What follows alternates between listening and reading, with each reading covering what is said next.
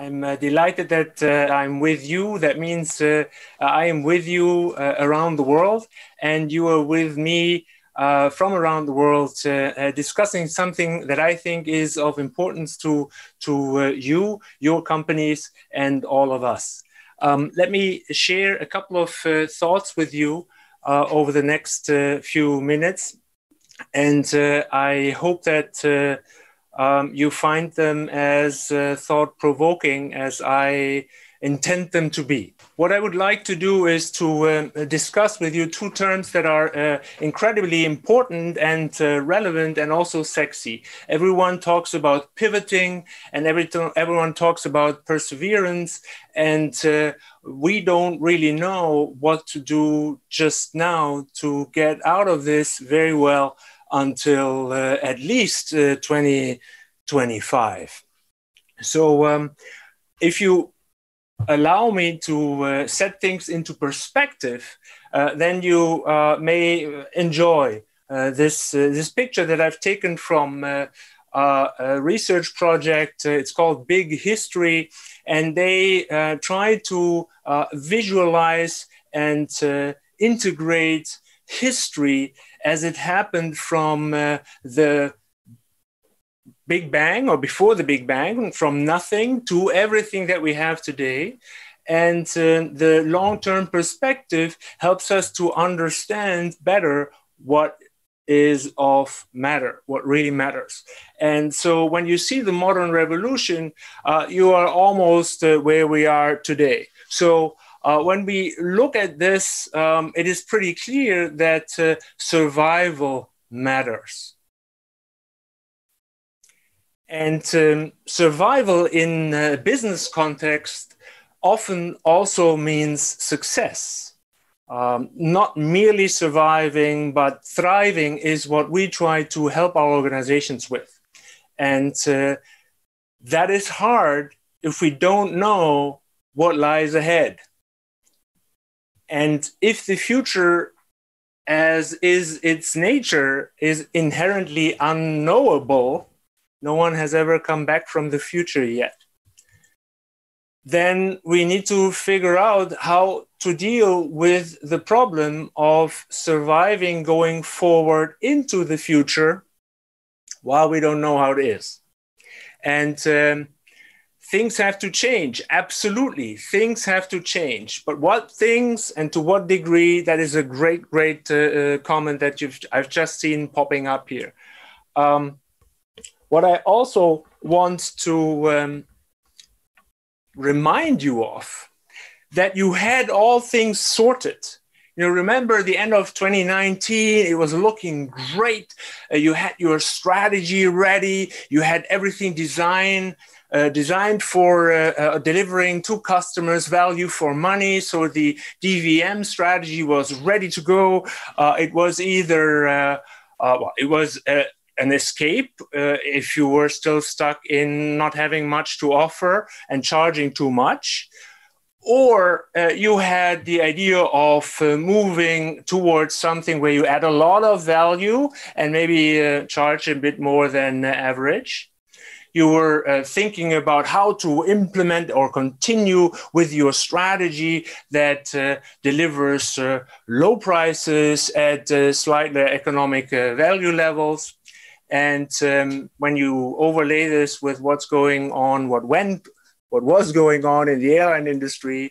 So the classical example is Ryanair, the low fares airline, and then we have a little jet company that focuses on the niche, where price doesn't matter so much because the value is so luxurious that uh, uh, the people in that niche enjoy the services of that little jet air company. Some may have even thought of uh, digital transformation reconciling both. So, uh, how will that look like in the airline industry when we get out of that? Will there be an Uber for flights? And I think that is uh, an interesting uh, scenario, and uh, many experts see this as to be very likely.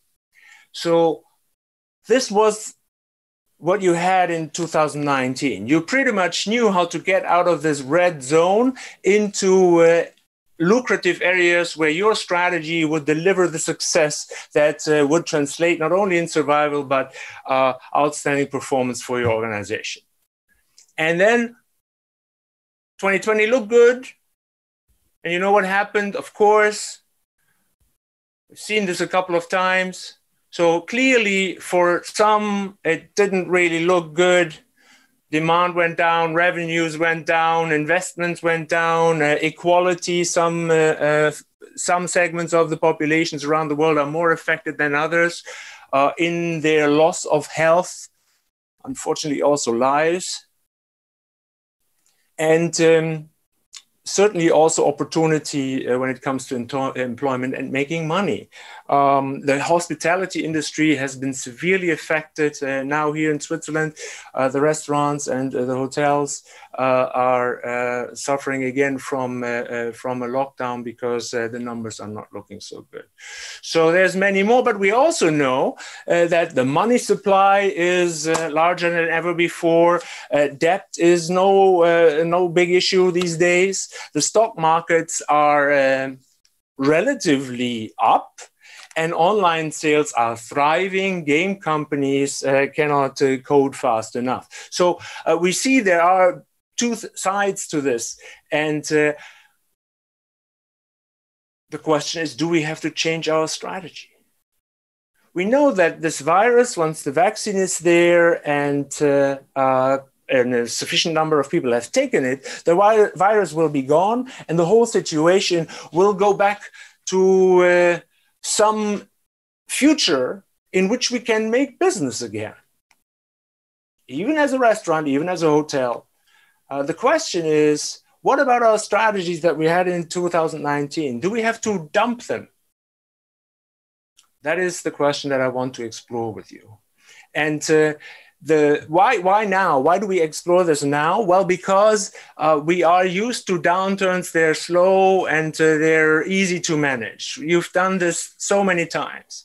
Uh, last year uh, last year we had uh, uh, in um, in some areas the first patients and it wasn't really clear what was going to happen but we have experienced in spring the first lockdown and it has been rolling through around the world through the rest of the year. And now uh, we were asking ourselves at that time what would come next?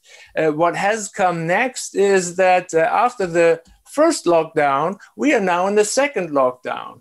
And um, the serious question is now what is coming next? How many of those do we have to go through? How much of this, what we're experiencing, is uh, going to stay? And how are we going to deal with that? Do we have to dump our strategy? Do we have to tweak it? Or do we have to pivot? Or do we have to just uh, persist with it? That is the challenging question I uh, uh, want to discuss with you. Um, having talked about doom and gloom and double, uh, double, double, uh, double lockdown, I want to uh, just know from you in the chat very quickly what is the shape of the uh, economic uh, development going forward that you see coming? Please type this in the chat. Uh, is it a J, so an upturn? Is it a U turn? Is it going to be a V turn after the second lo- lockdown? Or is it going to be a W? Japan is going through the third lo- lockdown right now? Is it an X? Is it an I, a, a drop without end? Or is it L, bottoming, bottoming out? Or is it an M, which is uh, a more more pessimistic version of a W. So uh, I see this, you see this. Yes. So all of you who choose for M and W's, uh, you see this as uh, continuing a little bit longer. So you think that we may have uh, the nth lockdown. Uh, for those of you who have um, less complex uh, characters, it is a one-time affair out of which we are going out. I uh, uh, thank you for this. I am especially grateful for the fact that you didn't have an X because this is the, the end of it. You know, there is no way out of this. and uh, so that's that's positive. I, I like that, and um, you know. Uh, let me skip this. I just want to uh, show you show you some results here um, for um, perseverance and pivoting when it comes to uh, countries dealing with COVID. So this is uh, the European Union, and you see that um, that um, that that we're you know we're very much on top of uh, of the world really. Uh, unfortunately this is deaths attributed to covid. You see that uh, sweden is doing uh, uh, very well and switzerland is uh, is in the middle is in the average. Um, let me just show you what is going on in other parts of the world and you see that that India, Iran, and Russia and Indonesia are uh, uh, keeping up with uh, some parts of, uh, uh, of the European Union, but uh, this would be here. And China is, is, of course, since quite a long time, doing extraordinarily well on this. Um, and when we look at the numbers, we see that over the period of, uh, let me just switch back here, um, over the period of the summer, something uh, uh, went uh, awfully wrong in, uh, in uh, several countries. And uh, that may be the effect of changing and not persevering with some of the policies. So let's go for something more uplifting. Yes, you're right. Uh, let me just uh, take some comments here. Rick, you're right. Not everyone is reporting the same data. Absolutely. So comparing countries is very, very difficult. Absolutely. Yes. Oh, thank you for this uh, in Cyrillic, Victor. That is helpful. This is really cool. Um, so I show this mask because I want to have an uplifting uh, interlude before we go on. And uh, the uplifting interlude, of course, is that no one ever cared about this product category until, let's say, uh, February, uh, at least in most parts of, parts of the world. Whereas in Asia, it was much more common to protect others from your regular sneeze or cough.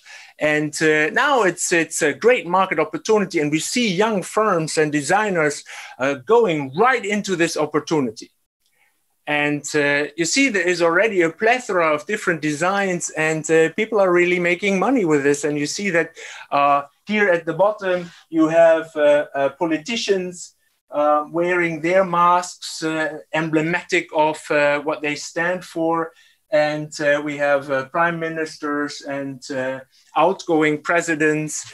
And so the is there is a market opportunity that uh, that's what i wanted to uh, to show you um, now here we are with uh, a little little question it's a very uh, it's a prolonged pro prolongation of uh, the the comical interlude that is supposed to distract you a little okay in your um, in your Zoom rooms or in your uh, offices or at home where you are, take a pencil and just jot down where you are on this. It's a poll on restaurants and holidays, and you know now we will not likely have uh, uh, long distance holidays and enjoy wonderful uh, restaurants uh, in any uh, time soon. But um, I just want you to to um, go through these questions and quickly, without thinking too much, answer them. And uh, take a note on, uh, uh, on your pad. You don't have to share this with anyone. I just want you to take a note of this because we come back to this later. Can you give me, uh, yes, I don't need the, Mats, thanks a lot though. Uh, I don't need the answers. Um, if you want to share them, that is fine uh, but you don't need to share them. This is for you. This is this is for you. This webinar is for you from IMD for you. So, um, do you are you okay with this? Give me a quick uh, um, chat. Okay, yes. So answer all questions. You need to answer all four questions, not only one. Okay, okay. See, Lisbeth is done. Uh, Ivan is done. Uh, Mats is done. Nadia is done. This is great. Perfect. Um, Sunil, yeah, Yulita, Ricardo, yeah, Ali, Alice, uh, Reka, Esther, fantastic. Okay, um, so stick with the numbers and we'll come back to this. Strategic leaders are often seen in the public and they're evaluated by the public. Not only presidents or prime ministers or uh, or uh, publicly uh, uh, elected officials, but also CEOs, uh, chief strategy officers, business unit leaders, leaders of teams. Uh, all leaders in the business world are assessed, are appraised. Uh, you know this through 360 exercises that you probably have gone through. And I crudely summarize, I crudely summarize here now. we often celebrate leaders who uh, stay their course, you know, uh, fight against uh, all odds and uh, strong opposition, and insist in their original objective and approach to that ob- objective. But at the same time, at the same time, we also admire um, strategic leaders who are able to see that um, things have changed and they change their course quickly. So we appreciate uh, leaders who persist, but we also appreciate leaders who, who change the direction of their organization. And so the question is um, which one is better? When should we use which approach? How can we reconcile them? That is, I think, uh, at the crux how we are going to come out of this with confidence until uh, at least 2025.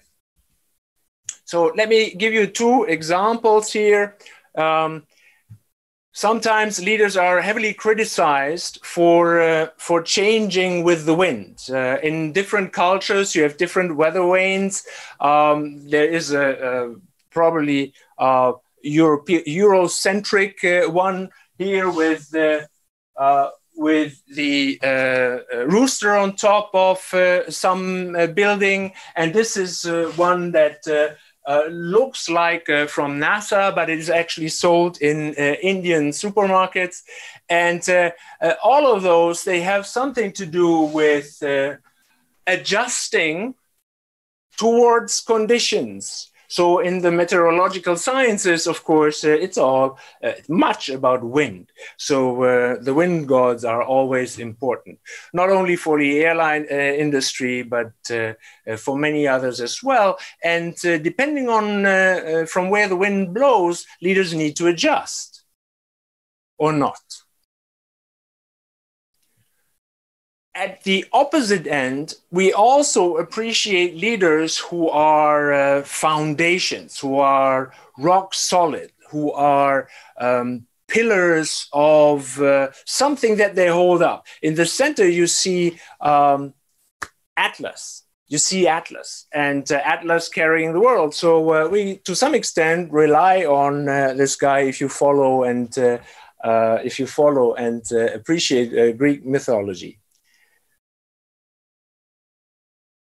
I'm just looking at the chats. Uh, I'll uh, respond to your question, uh, Helle, um, in a couple of minutes. Excellent. So in a VUCA world, we need to uh, change according to the needs of the market and customers, Herman. That is interesting. That is good. Um, and uh, uh, let's explore this together um, because this, this adjustment to customers is interesting. the classic example would be no one ever asked for apps on a telephone. So if you ask customers, they would not have uh, told you, I want an app on my telephone. So once they saw an iPhone with apps, they liked it. So seeing made them uh, realize that they liked something they had no idea of uh, beforehand. So sometimes uh, following customers is uh, is good, but uh, they they change their opinions very frequently frequently as well. So the weather vane purely may not be enough, and being a static column supported by a pillar or a pillar in an organization that doesn't budge and move uh, may also not be optimal. That's the that's that's the challenge that I want to explore with you here. Um, so you may have uh, have seen this. Uh, these are flip flops, and um, this is uh, the lady who is not for turning, Margaret Thatcher, a classical example of uh, a leader who has had a, a big influence. Uh, controversial, but a big influence. And uh, recently, Boris Johnson, whose name and whose face you see on uh, the flip flops, has been accused of flip flopping uh, on several issues, including uh, COVID, Brexit, and so on. So, uh, leaders who are in the public uh, realm, they get a lot of uh, criticism all the time. So, Boris Johnson is not the only one who gets a lot of criticism, but it uh, fits very well. It's actually very interesting to see that that Boris Johnson, um, a couple of years ago, designed his own flip flops um, but uh, the point here is is it good to never turn? Or is it better to turn all the time? And how can we reconcile this? I see, Valerio, you have a, a, a comment here. I believe the vision should be firm and rock solid. Strategy and behaviors yeah i like that. I like that a lot. You you're unbundling this a little bit. You bring in uh, flexibility into this. I like that a lot. Um, must have humble adaptive yes. Engaged leadership is required from uh, francois xavier yes. Low ego very very very nice very important. Um, what are the uh, major strengths? Yes we'll we'll address this um, I think the low ego is is important, but uh, you also need to have a strong ego to become a leader and uh, to uh, be confident in the direction that you are pointing out for your colleagues. So uh, low ego, yes, uh, and and no. Uh, let me let me unbundle this more.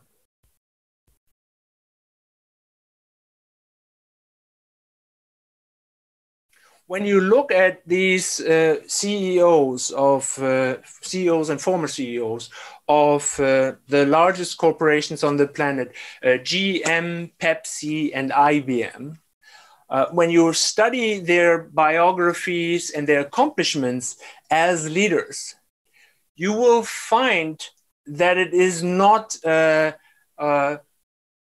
pivot, perseverance, choice that they have made and then stuck with, but they have pivoted and persevered uh, several times on several issues. And I think that is an example that uh, we want to uh, become more aware of and explore more. Because uh, your strategy will always be tested not only by COVID, there will be another emerging technology that will disrupt your business. There will be a political change that disrupts your business. Business, a legal change, uh, re- regulation regarding taxes might change.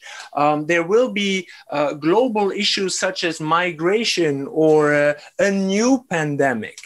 Um, there may be socio-cultural changes that uh, uh, disrupt your business model. Have you ever thought of all these uh, hat manufacturers? When uh, McKinsey was founded, one of uh, their uh, ideas to explain to business people uh, what consultants could do for them and why it would be good to listen to them was that they would uh, adopt the style of lawyers, and lawyers were, were, were wearing hats at the time. It was uh, customary for uh, uh, the business people to wear hats. Where are they gone? A socio-cultural change.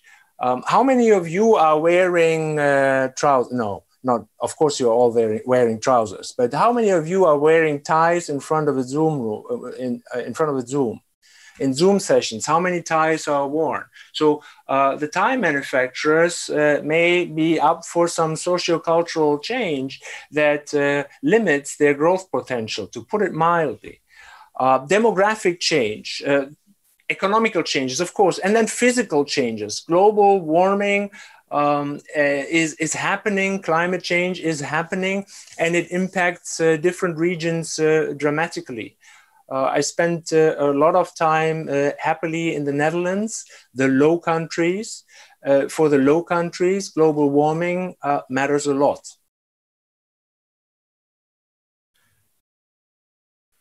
So, what is it then exactly what we mean when we say to pivot? Let's say the common understanding is to turn quickly.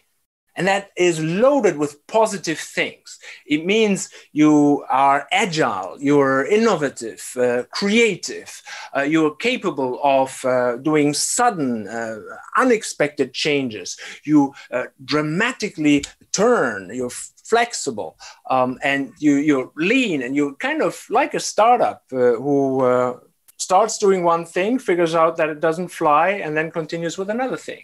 So that's where this comes from, and it's loaded with positive, uh, positive meaning. That's why why it's so attractive uh, to many. And there are many examples uh, for where pivots are needed. So in the car uh, industry right now, uh, everyone is scrambling to change from combustion to electric uh, engines and uh, that's not so easy.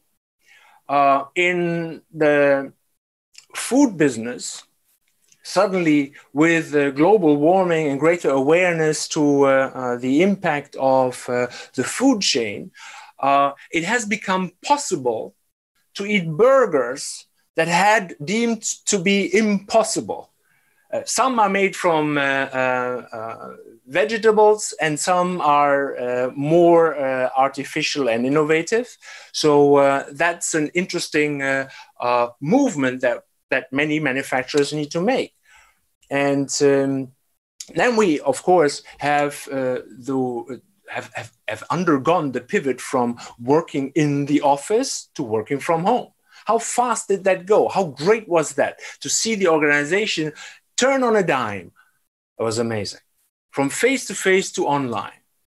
Uh, we do that too, you do that too. I think we are all in this together. And so turning quickly is great. And it has advantages and it has disadvantages. I want you to, uh, oh, there's a great, uh, great uh, uh list of, of comments. Let me just go through these comments and then uh, I want from you in the chat some advantages of pivoting and some disadvantages of pivoting. So plus, advantage, minus, disadvantage. Let me just read the, the chat here.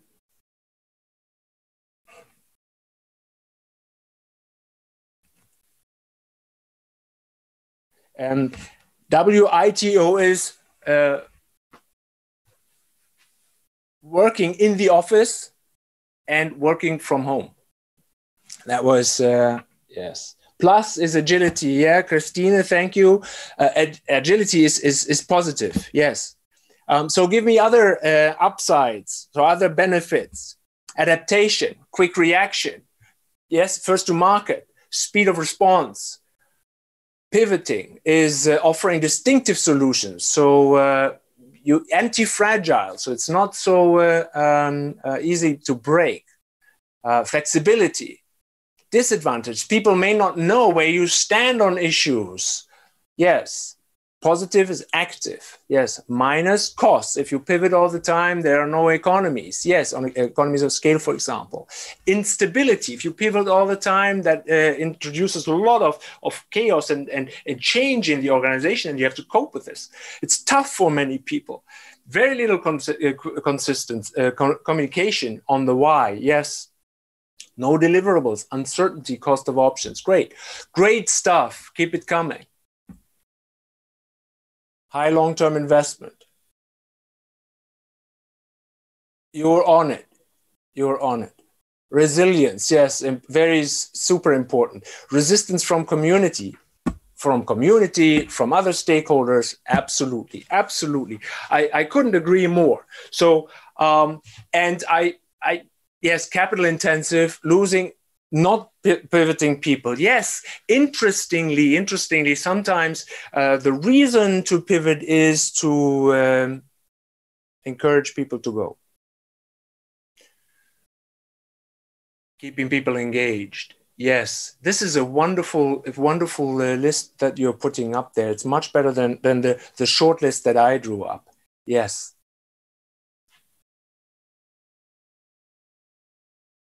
So I drew up uh, uh, these here, uh, but they are captured by what you have been saying. Um, and yes, please, when you chat, please send to all uh, participants. That's more useful, so you can see the richness of the the insights that you are sharing with each other.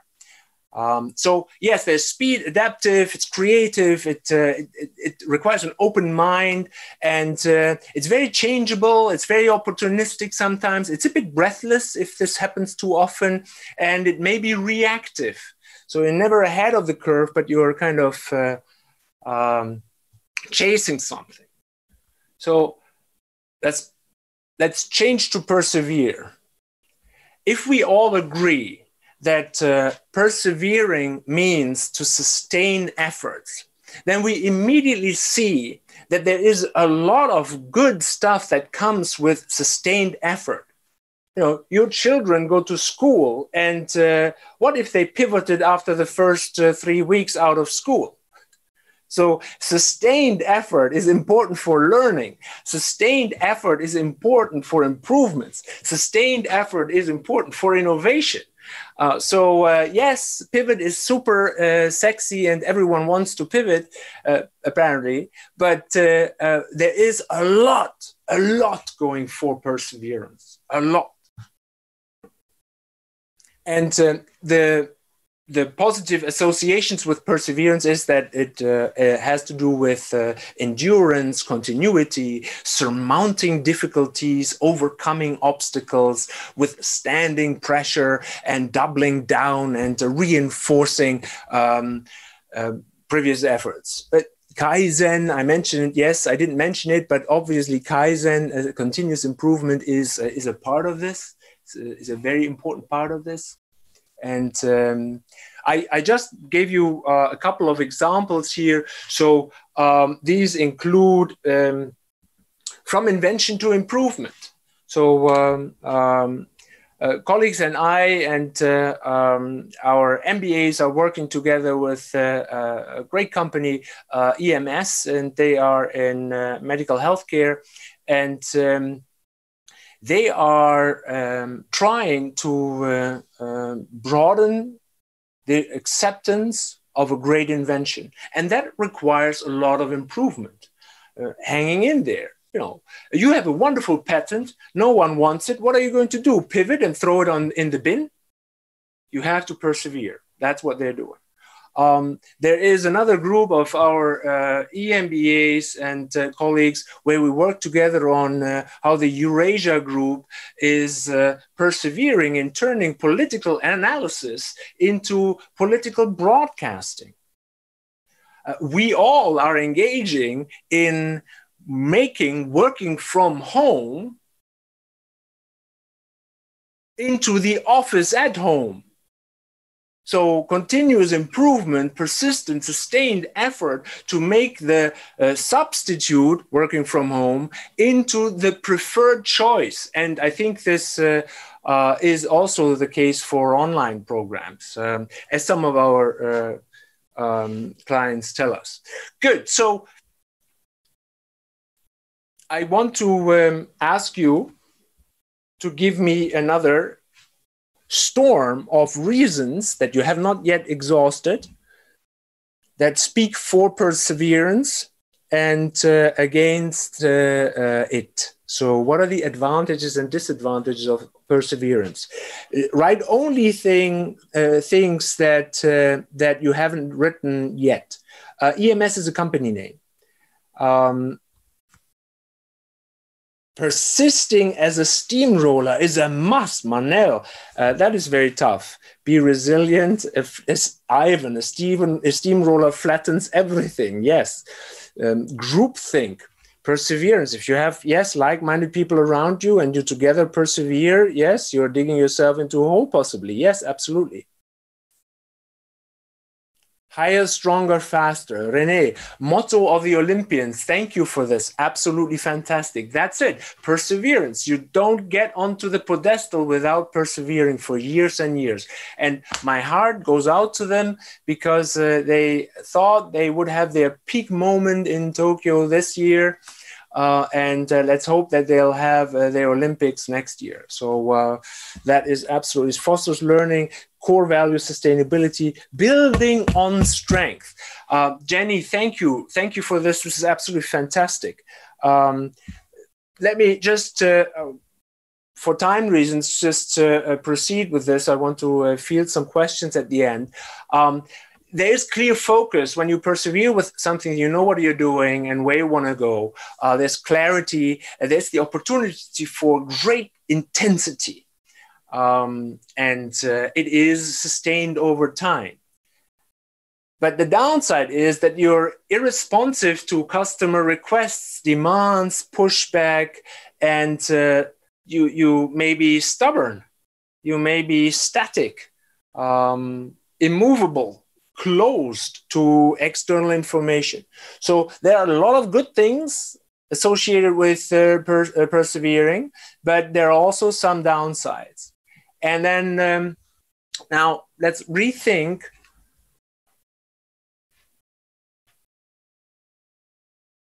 you have still good stuff coming up. Endurance on long-term goals, cultivates serendipity. That's interesting. That is trying to to create something that is stable and fusing this, bringing this together with something that uh, has instability in it. I like that.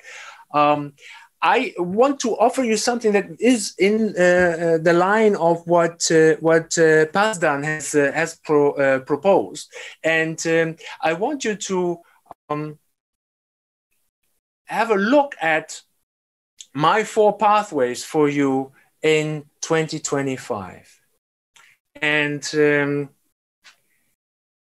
that I've broken up our dichotomy do we persist or do we pivot into our you know the usual four box matrix? The four box matrix offers us uh, the opportunity to think broader think in alternatives that we haven't seen. And um, that is i think important um, I'll answer uh, some of the questions in the chat in a minute. Let me just walk through uh, through the model here, and then I'll uh, ask you for examples before I share mine, and then we are uh, ready for uh, one more case study and uh, questions. So when we resisting resisting change because we don't like to do anything else that we have done before and we're reactive in seeing what's going on and we're trying to um, resist the tsunami that's coming towards us by dugging in dugging ourselves in uh, that may be a strategy. That may be a strategy so when a tornado when a tornado is approaching and you have no time to escape anymore, the best thing is to seek shelter underground and wait until it's over. Hoping that uh, the tornado is not sucking you out of the shelter. So um, this is clearly a strategy, uh, but it is uh, not necessarily one that you would associ- associate with success, thriving, and confidence going into uh, 2025. When we resist and try to do a pivot, then we are undermining our efforts in two critical ways. One way is we see that we have to change, but our resistance makes us change only so much.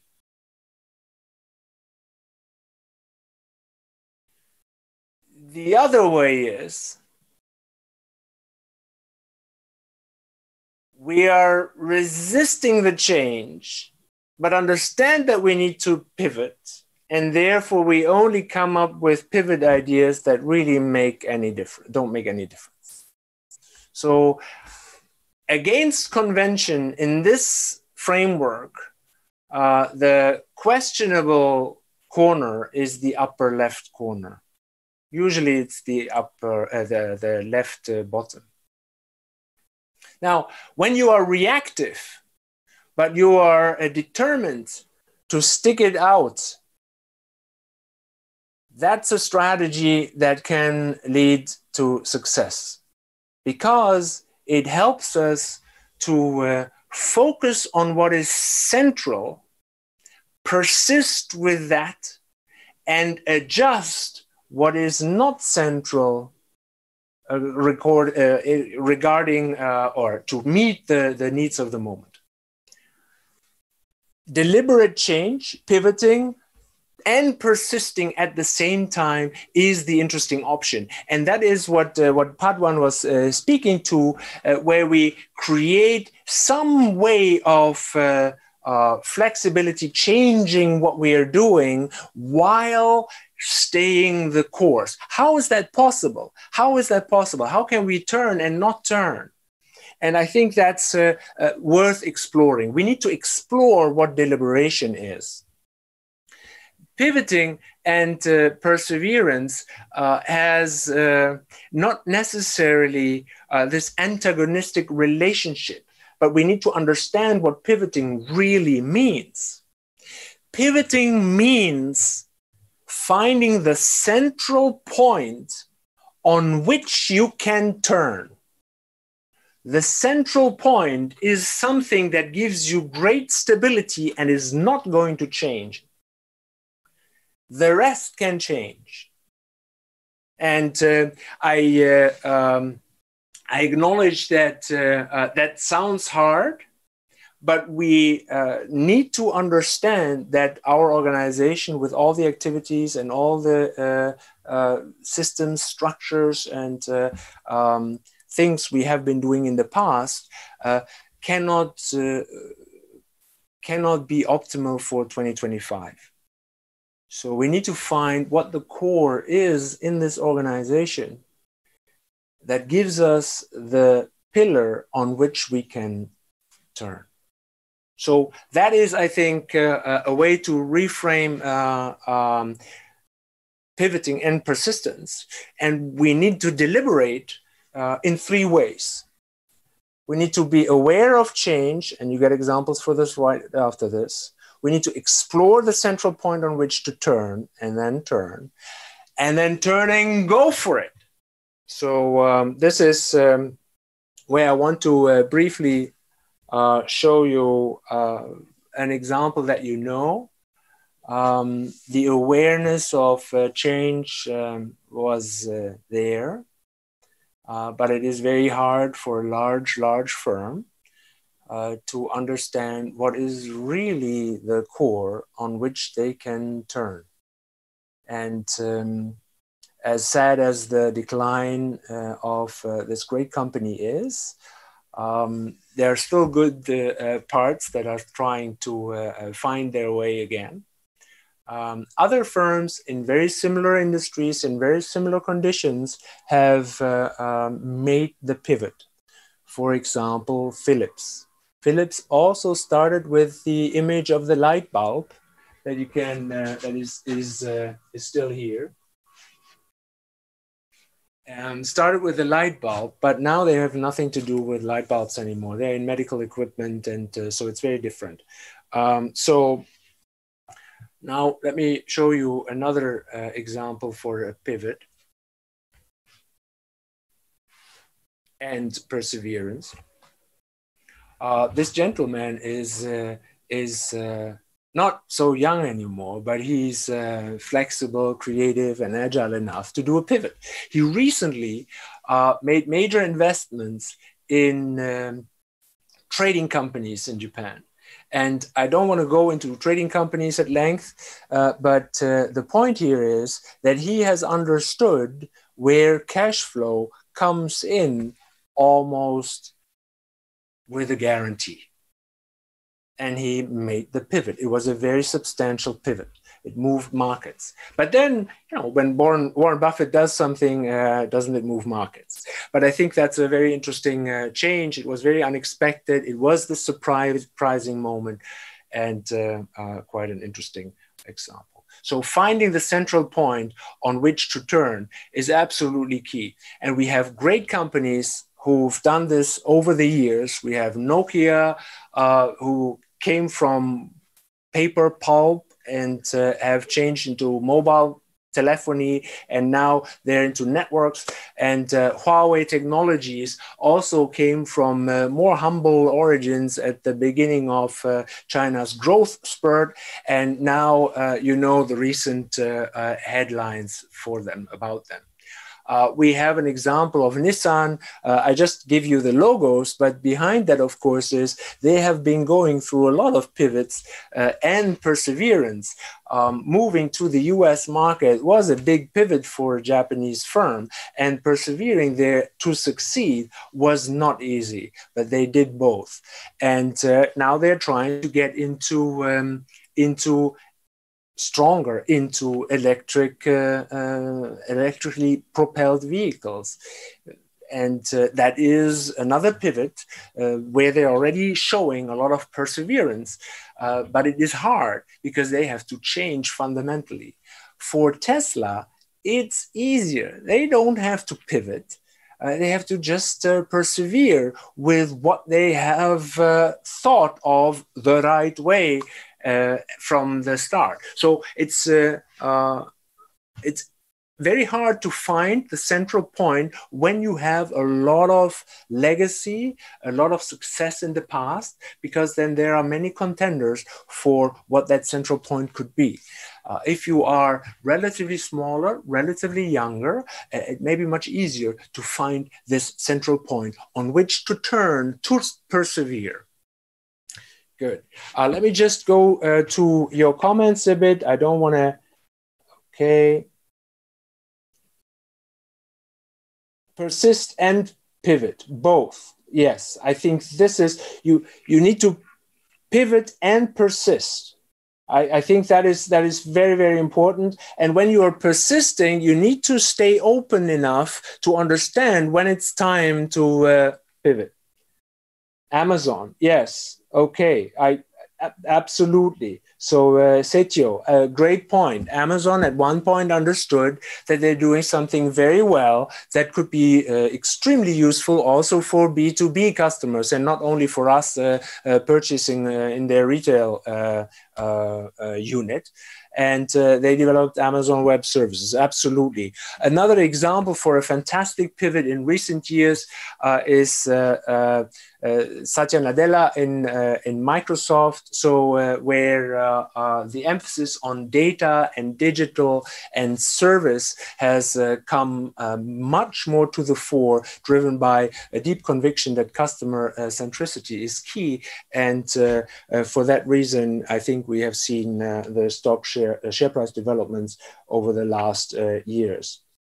Um, yes.